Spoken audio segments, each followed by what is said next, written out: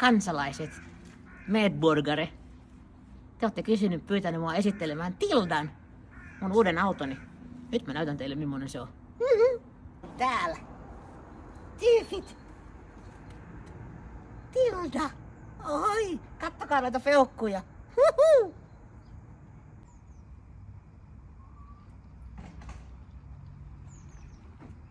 Sitten kattokaa semmosia käytännön juttuja, mitkä helpottaa oikeasti mun elämääni. Esimerkiksi etukontti.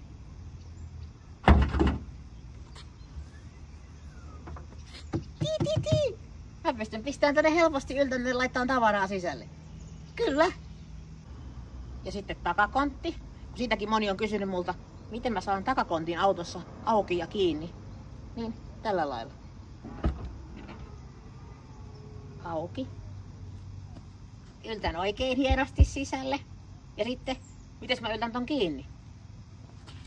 Tällä lailla.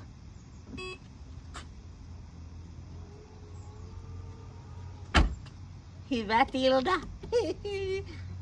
Ja sitten, ettei jäisi, ettei jäisi ainakaan epäselväksi, että kuka siinä kulkee? It's me! Ja suuntaan aina eteenpäin. Ja sit koska mä oon reissussa koko ajan, toi on oikeesti hyvä auto matkustaa.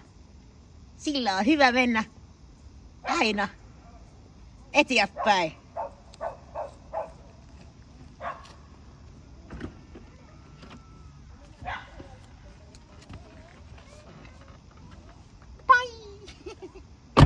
Ja sitten on samat vanhat systeemit. Ratti, no niin kuin autossa aina. Automaattivaihteet ja kaasu. Jarru menee kädellä. Jarru eteen, kaasu taakse. Tällä on hyvä matkustaa. Kyllä. Hihi.